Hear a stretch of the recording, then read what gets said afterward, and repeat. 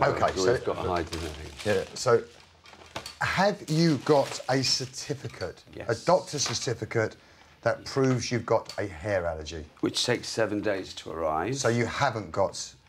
Have you got one on you? if you're if you're having this um, approach, I'm asking you a simple question. yes, we do. Can you show it to me, please? I don't have it. It's downstairs. so you don't have it. Are you going to cut hair Not in the today, academy? not today, You're no. not going to cut hair. Oh, I've got enough to do, Lee. Steve, I've got enough to do Steve, today. are, let's get this very clear. Yeah. Are you going to cut hair in the academy Not today? today, no. Right. Under no circumstances. No. Well, I've got enough going on. Listen, I listen, I'm the manager. I'm telling you what's going on.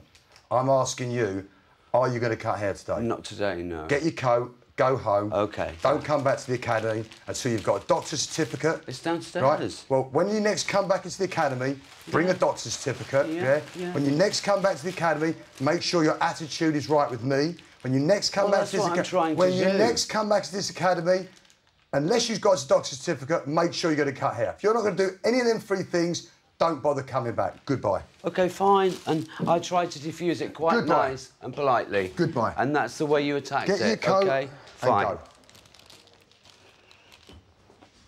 Actually, you don't even know, you need to get your coat. You got it on.